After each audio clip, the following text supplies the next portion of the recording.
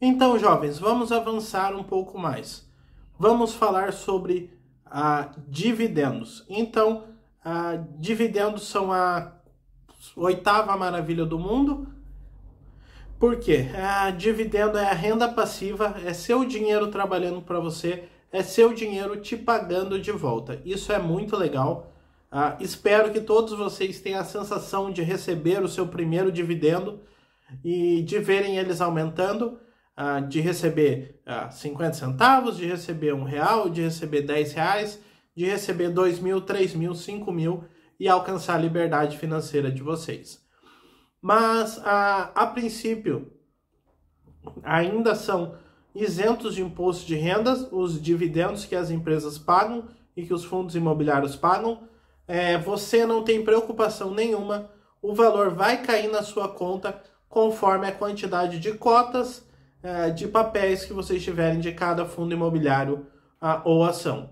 Então, basicamente, a, a Petrobras hoje é uma das maiores pagadoras de dividendo do mundo. Não sei se você está vendo esse vídeo daqui dois, daqui três anos. Uh, eu recebi alguns dividendos legais de Petrobras, não tenho que reclamar.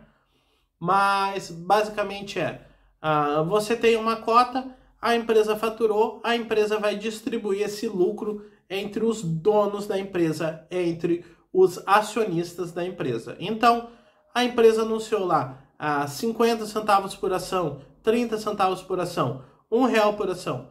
Então, a empresa anunciou um real por ação, você tem 300 ações, você vai receber 300 reais de dividendo. Ah, o fundo imobiliário lá está ah, pagando 50 centavos por cota, você tem 100 cotas, você vai receber 50 reais em dividendos.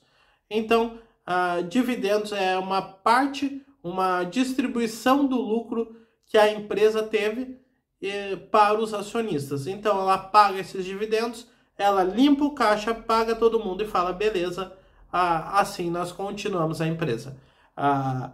É claro que tem gente que fala, não, eu não quero receber dividendos, eu não quero dividendos, ah, eu prefiro que a empresa que eu sou acionista ah, invista esse dinheiro em vez de me pagar. Então, em vez dela me pagar os 50 centavos, ah, eu prefiro que a empresa ah, compre novas empresas, que ela contrate mais funcionários, que ela faça ampliações, que ela faça reformas.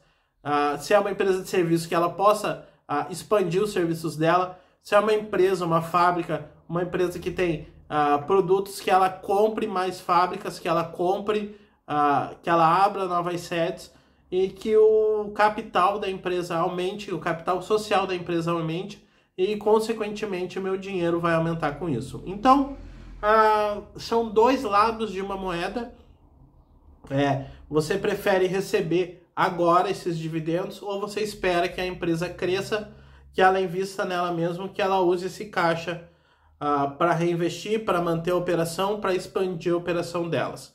Então, é, geralmente, quando uma empresa paga dividendos, uh, é bem comum o valor da ação dessa empresa cair. Então, uma empresa vale 10 reais, ela pagou um real em dividendos, ela cai para uh, 9,50 para 9 reais.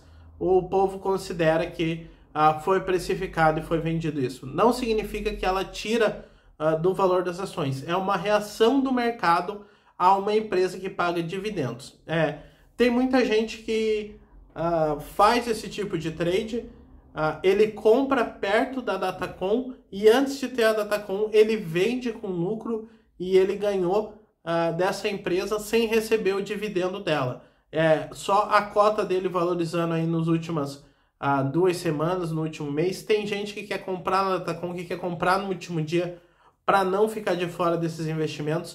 Uh, é bem normal você ver uma ação subir perto da Datacom e ela cair depois da Datacom, porque a galera que vai ter esse direito vai acabar rodando o papel um pouquinho.